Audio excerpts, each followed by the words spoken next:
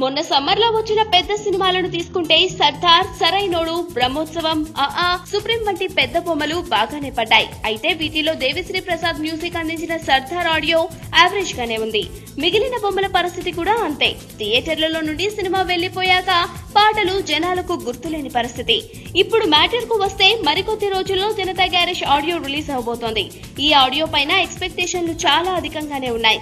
ఎందుకంటే గతంలో దేవిశ్రీ కొరటాల శివ కాంపిటీషన్లో వచ్చిన మిర్చి అండ్ శ్రీమంతుడు సినిమాల పాటలు సూపర్ హిట్ అవ్వడమే అందుకు కారణం. ఈ ఏడాదికి గాను గుర్తుండిపోయే బ్లాక్ పోస్టర్ ఆల్బమ్ ఇదే అవుతుందనే టాక్ ఇప్పటికే ఇండస్ట్రీలో వినిపిస్తోందంటే ఈ సినిమా పాటలు దేవిశ్రీ ఎలా కొట్టుంటాడో చూసుకోండి.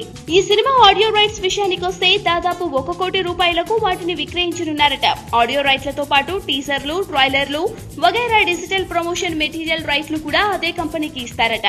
అసలు ఆ ఫిగర్కు అమ్మడం అంటేనే పెద్ద విషయం అంటున్నారు సినిమా అబ్జర్వర్స్. నిజానికి ఆడియో పరంగా ఫిజికల్ సేల్స్ పెద్దగా లేని ఈ రోజుల్లో ఇలా స్టార్ హీరోల సినిమాలకు అంతేసి రేటు పలకడం అంటే మామూలు విషయం కాదు. హీరో తాలూకు స్టార్ పవర్ డైరెక్టర్ తాలూకు టేస్ట్ ఇక మ్యూజిక్ కంపోజర్ క్రియేటివిటీ అన్ని కలిస్తేనే super hit album. Super hit rate. బాబు దేవిశ్రీ వెయిటింగ్ ఇక్కడ త్వరగా ఒక శాంపిల్ వదిలే